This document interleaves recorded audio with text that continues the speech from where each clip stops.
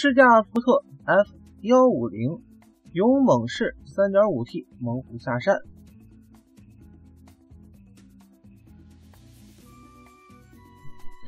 说起今天试驾的这台车，不得不提福特家族最有名的皮卡之一 F 幺五零。作为老百姓最有可能买得起的高性能皮卡，它有着非常吸引人的一面，强悍的动力、超强的载物能力以及高人一筹的气势，这些因素都让其充满了魅力。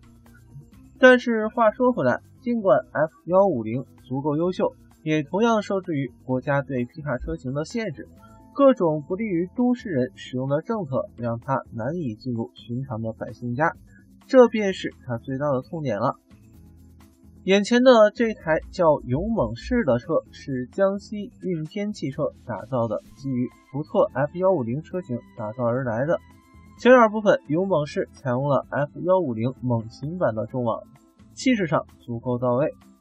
前脸造型可以在购车时自由选择，个人感觉老款镀铬中网看起来更显霸气一些。车灯配置方面，勇猛者远近光源均为卤素，前包围下方两侧都配有锚点。来到车侧，不难看出勇猛式的身材确实如它的名字一样，车身尺寸不输于市面上任何主流的全尺寸 SUV。车轮方面，试驾车型采用了18英寸轮毂，配备了 28HT 轮胎。此外，勇猛式还提供了20英寸轮毂可选。再往后看，江西运天汽车在 F105 身上做出的最大改变，莫过于车斗部分的改造。也正因如此，F150 才不能受到政策对其他车型的限制。后夹层与车斗通过激光焊接技术融为一体，看起来足够硬朗。同时，车顶还配有行李架。勇猛式改造的打开是由上下两部分组成的后备箱盖，下半部依然保持了皮卡货斗的结构，具有较好的承重能力。